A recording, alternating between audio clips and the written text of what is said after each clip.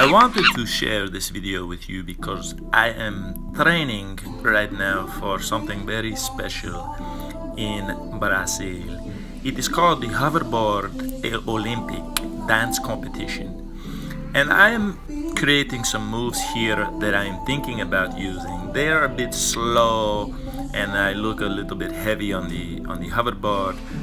But I am working on different dance moves because I'm going to compete in Brazil in the summer of 2019 in Rio de Janeiro.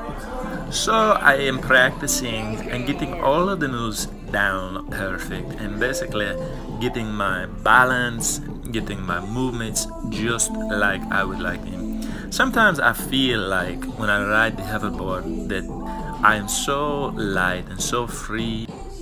It feels as if I am floating on air and my body weighs nothing. I love it. It is just quite an amazing feeling.